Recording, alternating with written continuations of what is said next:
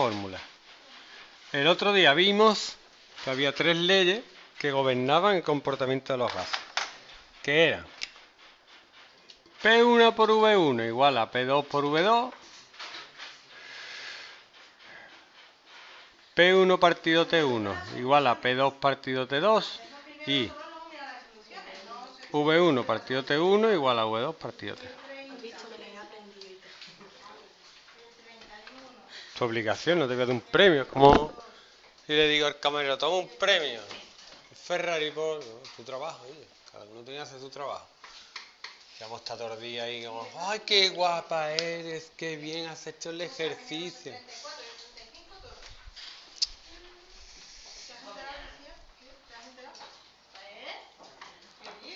Hay una fórmula para todo.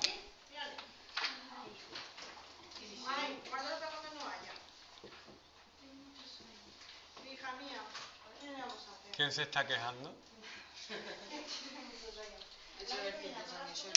Le voy a poner a los niños que van a recoger. Están resueltos para que no lo mires. Te lo tapas y ya está ahí.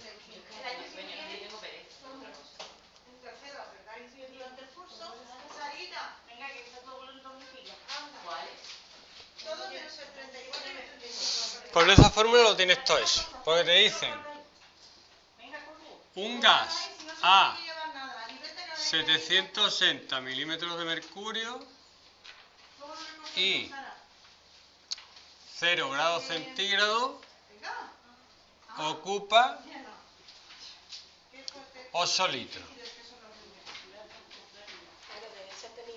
¿Cuánto ocupa a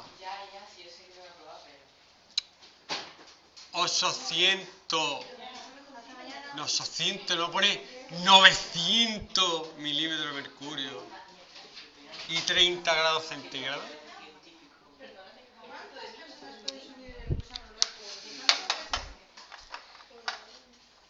Ana, mírame. No hace falta, de esta fórmula no hace falta pasar la atmósfera. Pero como en la otra fórmula sí te va a hacer falta, te lo explico. Observa. Una atmósfera de presión son 760 milímetros de mercurio. ¿Te lo crees? Es así, la vida es así. ¿Vale? Entonces, ¿cómo paso yo 760 milímetros de mercurio, que será la presión 1? ¿Cómo la paso a atmósfera? ¿Qué pongo?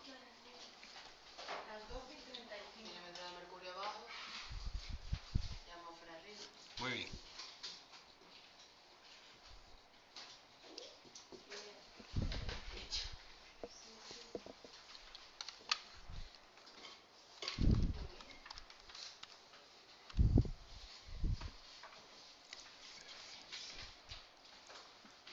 Y ahora, la otra presión, que son 900 milímetros de mercurio, hago lo mismo.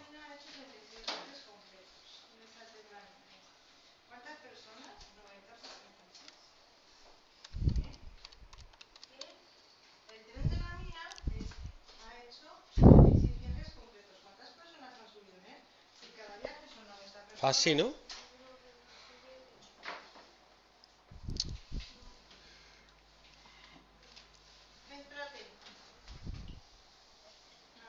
Y ahora solo tengo que aplicar las fórmulas. Bueno, no.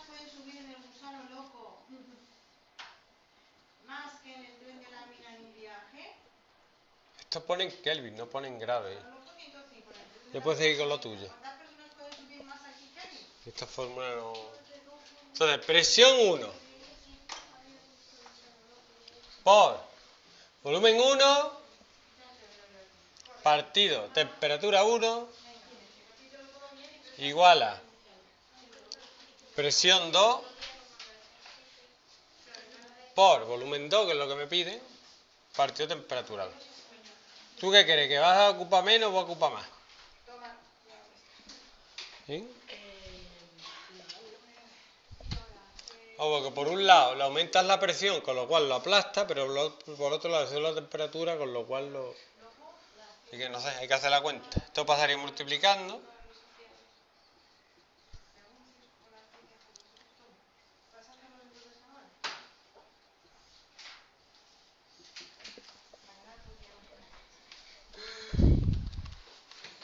Ay, qué vida más dura.